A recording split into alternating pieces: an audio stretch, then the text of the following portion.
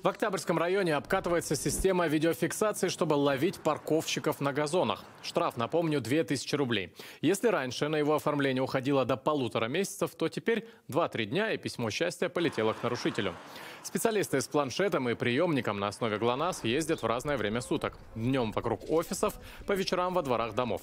Уже выписали 120 штрафов любителям портить газоны.